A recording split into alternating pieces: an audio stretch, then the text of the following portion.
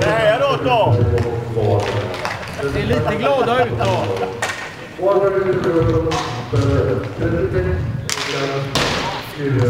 då.